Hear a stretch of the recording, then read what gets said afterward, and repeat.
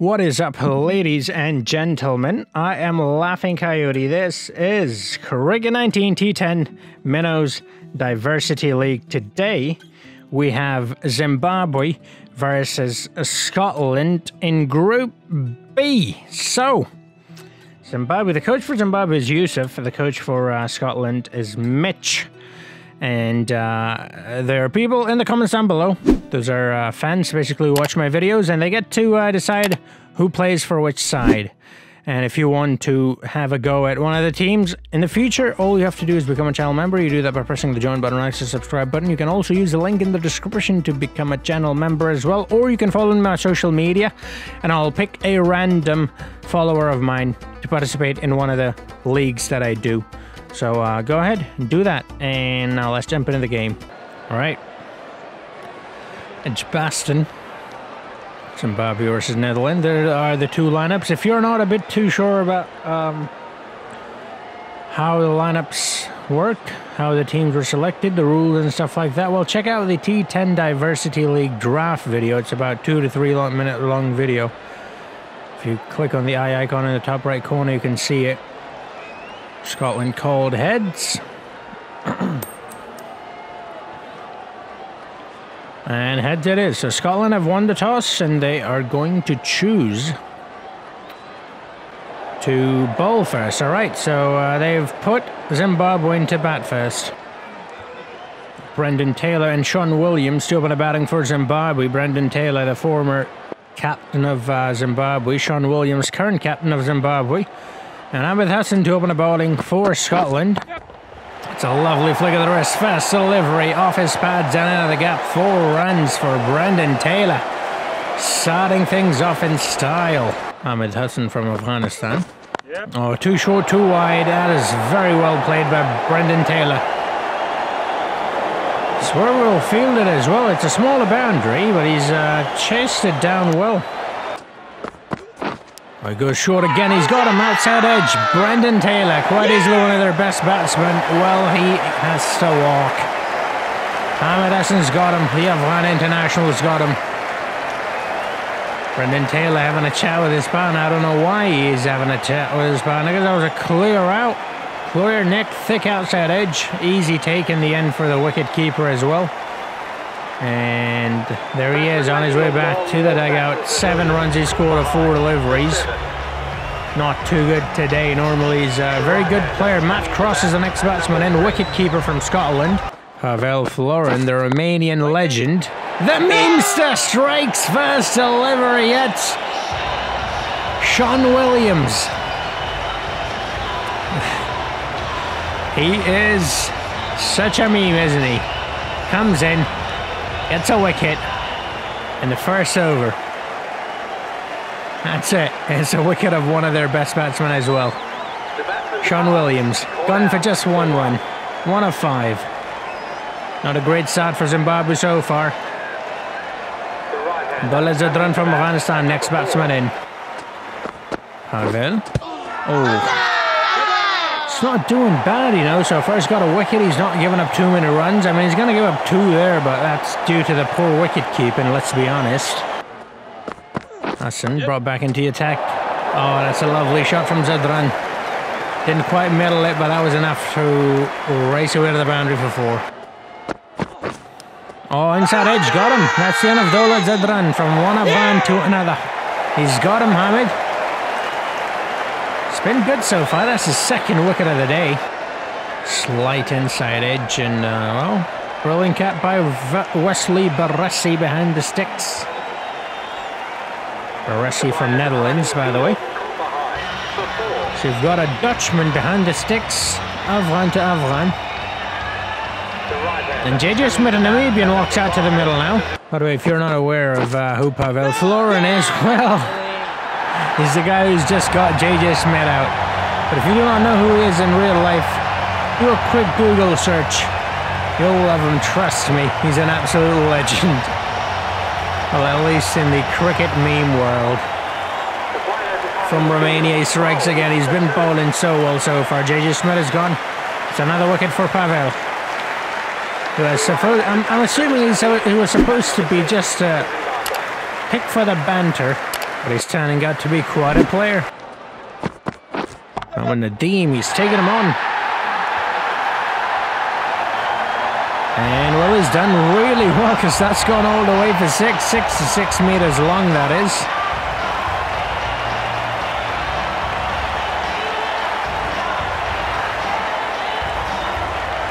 From Oman with love. Owen Nadim, lovely hit. Okay, straight to the field, and he will take it. He hangs on as the other one with Nadim. As another wicket falls. Wickets are falling like flies. But they're getting a couple of runs under their belt as well so far in this game. I mean, uh, they've been scoring at pretty slow rate. You never know how many runs are enough, but um, still you want to do your best. with one Chima as the next batsman in. Chima, well, he's gone. Fifth delivery faces, he's gone. That's another wicket for this ball. He's been, uh, he's, he's done really well. He's got a few wickets now. He's put a lot of pressure on Zimbabwe. Zimbabwe, one of the best sides in the league at the top of this table as well. This will be a massive win for Scotland if they can manage to get a win. Like I said, there's no telling how many runs are enough. Let's not get ahead of ourselves. Zimbabwe might bowl even better than Scotland, particularly since they're playing Trent Boult. Oh well, that's straight in front. That's the end of Trent Boult. That's another wicket fallen. And it's uh, KC. Strikes again. He's gotten so many wickets today. The guy is just a beast. The special player Boult, well, he's not really a batsman, but uh, still, you expect him to score a couple of runs at least. He's gone without having trouble the scores. Paul Van Meekeren is the next batsman in. Oh, McCarthy strikes. He's nearly got his hole, but no, he's got his back foot in front of it, and the umpire has no choice but to give that out. That is as straight as it gets, man. Oh, don't even think about reviewing that. That is as straight as it gets. Yeah, good decision, Paul. Not reviewing that one, because that was going to be just a waste of a review, really.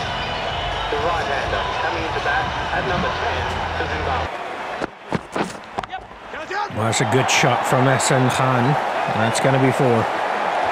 Finally, some runs on the board for Zimbabwe. Oh, that was a bit too wide. He's given him a bit room, and well, Khan's gone after him. He's got another boundary under his back. Again, too wide. That is just not the right kind of line to bowl to a tail ender, nonetheless, let alone any batsman. And, uh, well, Zimbabwe will welcome it because uh, they've gotten themselves a few runs in that over now. Got, well, oh my, that's four fours in a row. It's been quite an action-packed over. A wicket first up, a four, a four, a four, and another four. 17 so far. Oh boy, that's another one. That's gone for four as well. that is brilliant. That's 20 runs in that over. Oh, that, well, he's gone. he's, no need to appeal, he's gone. Oh, look at that. Hit him in the pad. And well, to be honest, I mean, if it hadn't, if the ball had not hit the stumps, that would not have been given a, out as an LBW, never an out. Very unlucky for Ehsan Khan there. He's looking very good. He scored 20 of just six deliveries. Zahoor Khan is the next batsman in. Okay, that's a good shot. That's going to be four. 59 up. So the target, if they lose a wicket right now, will be 60, which is a run of all. But uh, like I said in this game, you never know which way it's going to go. Try to uh, hit a boundary there. Uh-oh, what is happening? Bit of a mix-up. I mean, they should have gone for it. It's the last delivery. Who cares if they get out or not? So 61 runs they have scored. That 20 from Ehsan Khan at the end was the game changer. And uh, like I said, you never know. Um, 60 does not look like too many runs, but um, Well, if Zimbabwe struggled, who's to say Scotland's not going to struggle? It's going to be a good one. A little over a run of ball required. Kyle Coetzer to open the batting for uh, Scotland alongside Callum McLeod. And it's a Kiwi international, the superstar from New Zealand, Trent Boult, to open a bowling for Zimbabwe. Short one first up, and there it is. Wicket first up. Told ya. Don't think just because it's 61 runs, Scotland's got this. No. You never know which way the game's gonna go. Trent Boult strikes the very first delivery. Cotton Bowl does not even need any assistance from anyone else. He's got it all on his own. He can bowl it, he can catch it, he can field it. Van Bold is gone. Golden duck. Timil Patel is the next batsman in. Oh, it's a good push. I mean, that's all that was. It's gone for four. Wow, okay. Lovely. Oh, that's a hit. That's a head and a half. I have a feeling that's going to clear the rope, and it does. Six runs. First six of Scotland's batting innings. There he goes again. Has he just hit another six? Has he? No, that's just short. One bounce and four runs. He has hit the side screen, though. So uh, that's something, I guess. I cannot afford to be... Oh, yeah, that's what I meant. I can't give up too many runs and well, they are. They're giving up loads of runs. They need to take wickets and they need to keep it tight if they're to win this one. Well, it's a lovely hit from Callum McLeod. That's going to be four. That is four. Lovely bit of batting so far. Ten runs. He moves on to Trent Bolton. Not too happy with himself there. Oh, that's a good shot into extra cover. I think that's going to be another boundary for Callum. Yep, that's a boundary making light work of it. They lost that early wicket, but ever since they've not looked back. Oof, there it is. Finally a wicket. It's a weird sort of a delivery. Oh, yeah, look at that. How do you play that? Sharp turn. Hits the bails off the stumps. Too difficult to handle for Timmer at least, and he was going at a very decent rate. Look at that, 250 strike rate. Very good innings comes to an end. Wesley Barresi the next batsman in. That's a good shot. Barresi off the mark on the very first delivery. The plan is clear. And I think it's a good plan as well on a wicket like this where you never know how you're going to get out because the ball is acting really weird. When it's it's a good plan to just keep going after the ball, bowlers, keep attacking, get as many runs as uh, quickly as possible. Looks close. Not going to be out though. Impact outside of off. Oh, that, he's middle that one. That's going to go. That's going. That's going. That's gone. Four runs. Shot. Got a fielder there. Is he going to catch it? No. One bounce and four runs. Good shot. Straight down the ground. They've got a fielder though. Trying to catch up. Nope, that's gone for six. It's not much he can do. He was very good with the ball. That is brilliantly fielded. He was very good with the bat is what I meant to say. Let's see how good he will be with the ball. That's a brilliant shot. That's going to be four. That's going to be four, yep. Scotland's batting is, uh, well, too good, it seems. It's five more runs in 26 delivery. Surely they're not going to lose now. Well, they're going to lose a wicket, that's for sure. Well, actually, if he hangs on, that is. He does hang on, all right. You can't be too sure about these minnows. They drop catches way too often. So, he strikes with a ball, as he did with a bat. That was a skyer, though. Look at how high up into the sky that went. Unfortunately, didn't have too much distance on it. Trent Boult took the catch. With the shades on under the floodlight, Wesley Barresi, a Dutch international gun for 24. Over 200 strike rate Rameez. Shahzad is the next batsman in. Oh, that's a four. That's a four from Rameez, and with that, that's another victory for Scotland. Scotland's looking good now. They've got a couple of wins under their belt. And uh, they're looking good to qualify to the next round, to the playoffs. Seven wick, uh, wickets they've won it by. We'll take a look at the uh, table at the end. But here's how the game went. Pretty good with the ball, especially Pavel Florin. Fortunately, he didn't get a chance to bat.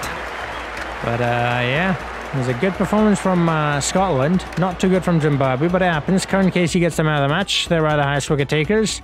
Both from Scotland. Well, actually, Ehsan Khan is there as well as Timil Patel, who's also from Scotland. So Scotland's doing really well. Let's take a look at the highest run scorer. It's a Scottish player as well, 113, the only batsman with over 100 runs. Brilliantly done, Callum. And uh, there it is now. Scotland at the top. They've got the same amount of points as Zimbabwe. So Zimbabwe and Scotland are in pretty good position. So is Nepal, though. They've won two games and uh, they're in third place, but they have played one less game than Scotland and Zimbabwe, so keep that in mind. Do let me know who do you think is going to be the top four in this group. As always, if you enjoyed it, do drop a like, hit the subscribe button, hit the notification bell. And uh, thank you for. I'll see you guys in the next video. Until then, have a nice